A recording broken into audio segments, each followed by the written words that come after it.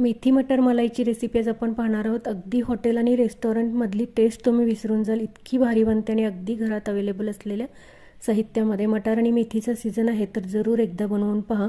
खूपच क्रीमी स्वादिष्ट बनते. लहानांपासून मोठ्यांपर्यंत सगळ्यांनाच ही भाजी आवडेल. इतकी स्वादिष्ट बनते. चला मग पाहूयात रेसिपी भाजी बनवण्यासाठी सगळ्यात आधी मला ओले वाटाणे शिजवून घ्यायचे आहेत. त्यासाठी एका भांड्यामध्ये एक वाटी इतकं पाणी मी उकळायला ठेवलं होतं. पाण्याला उकळी आली की एक मोठी वाटी इतके वाटाणे मी यामध्ये घातलेले आहेत. आणि आता हे वाटाणे पाच ते सहा मिनटं आपल्याला शिजवून घ्यायचे आहेत. तोपर्यंत दुसऱ्या गॅसवरती कढाईमध्ये एक चमचा इतकं तेल गरम केलेलं आहे.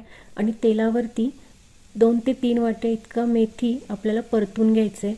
मेथी एकदम व्यवस्थित निवडून स्वच्छ धुवून त्यानंतर शक्य तितकं बारीक कट करून घ्यायचं. या भाजीसाठी जितकं शक्य होईल तितकं बारीक मेथी कट करा आणि अशा प्रकारे दोन ते तीन मिनटं परतल्यानंतर मेथी छान सॉफ्ट होतो. आपण एका भांड्यामध्ये त्याला काढून घेऊयात. आणि आता या कढईमध्ये आपण या भाजीसाठी लागणाऱ्या ग्रेव्हीची तयारी करूयात.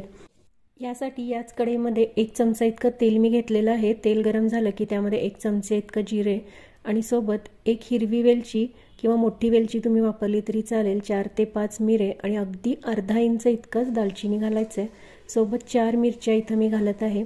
भाजीला जितकं तिखट तुम्हाला हवं तितक्या मिरच्या इथे तुम्ही घालू शकता. चार किंवा सहा पण घालू शकता. सोबत एक मोठा कांदा जाडसरच कट करून घेतला आणि तो सुद्धा यामध्ये घालून परतून घ्यायचा आहे सोबत ग्रेव्हीला क्रीमी टेक्स्चर येण्यासाठी इथे आपण आठ ते दहा काजू घालणार आहोत. आणि सोबतच तीन ते चार लसणाच्या पाकळ्या आणि अर्धा इंचच आलं आपल्याला घालून सगळं व्यवस्थित परतून घ्यायचं आहे कांदा अगदी तांबूस लाल नाही झाला पाहिजे पण त्याचं कच्चं पण गेलं पाहिजे इतपत परतायचं आहे सगळं परतून झालं की आता गॅसची फ्लेम बंद करून हे थंड होण्यासाठी मी ठेवून देणार आहे. तोपर्यंत वाटाणेही आपले शिजलेत तोही गॅस बंद केलेला आहे. आणि पा सगळं थंड झाल्यानंतर एका मिक्सर जारमध्ये हे सगळं घालून एकदम बारीक अशी पेस्ट आपल्याला बनवायची आहे. त्यासाठी हवं तर थोडंसं पाणी घालून शक्य तितकी बारीक आणि स्मूथ अशी पेस्ट करून घ्यायची. हे वाटण जितकं तुम्ही बारीक आणि स्मूथ बनवाल तितकीच भाजी छान क्रीमी बनते. त्यामुळे एकदम बारीक वाटून घ्या. आणि आता भाजीची फोडणी करूयात. त्यासाठी एका पॅनमध्ये एक ते दीड चमचा इतकं तूप मी घेतलं आहे किंवा बटर तुम्ही घेऊ शकता. नाहीतर तेलसुद्धा घेऊ शकता. पण तूप किंवा बटरमुळे भाजीला अजून थोडी छान टेस्ट येते. त्यानंतर एक चमचा इतकं जिरा घातलेलं आहे आणि थोडंसं आलं लसूण एकदम बारीक कट करून घेतलेलं आहे. याच्याऐवजी पेस्टसुद्धा तुम्ही वापरू शकता पण अशा प्रकारे कट केलेला आलं लसूण भाजीला थोडी वेगळी टेस्ट देतो. त्यानंतर जे आपण ग्रेव्हीचं वाटण केलं होतं ते पॅनमध्ये घालायचं आहे आणि आता याला चांगलं तेल सुटेपर्यंत आपल्याला परतून घ्यायचं आहे. तीन ते चार मिनटं लागतात मध्यम गॅसवरती छान परतून घ्यायचं आहे हे पहा तीन ते चार मिनटं परतल्यानंतर छान थिक झालेली आहे ग्रेव्ही आणि तेल सुटायला लागलेलं आहे. आता यामध्ये आपण जी मेथी परतून ठेवली होती ती घालायची आहे. आणि सोबतच शिजवून ठेवलेले वाटाणेसुद्धा वाटाण्यांमध्ये जर पाणी शिल्लक असेल तर त्याच्यासोबतच तुम्ही घालू शकता आणि हे सगळं व्यवस्थित एकदा मिक्स करून घ्यायचं आहे. आता गॅसची फ्लेम मी अगदी कमी केलेली आहे आणि या भाजीला अजूनच क्रीमी आणि स्मूथ बनवण्यासाठी यामध्ये आपल्याला क्रीम घालायचं आहे रेडीमेड क्रीमसुद्धा तुम्ही वापरू शकता किंवा अशा प्रकारे दुधावरची साय आणि थोडंसं दूध घेऊन ते मिक्सरला ग्राइंड करून ते सुद्धा वापरू शकता. अशा प्रकारे साय अगदी अर्धा एक मिनटं जरी आपण ग्राइंड केली तर छान क्रीम तयार होते आणि ही सगळी क्रीम आता आपण घालणार आहोत.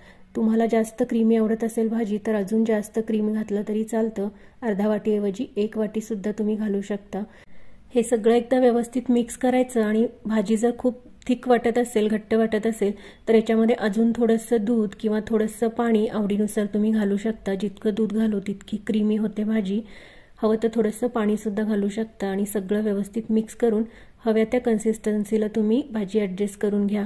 आणि त्यानंतर झाकण ठेवून आपण दोन ते तीन मिनटंच शिजवणार आहोत कारण वाटाणे आणि मेथी आपण ऑलरेडी परतून घेतली होती.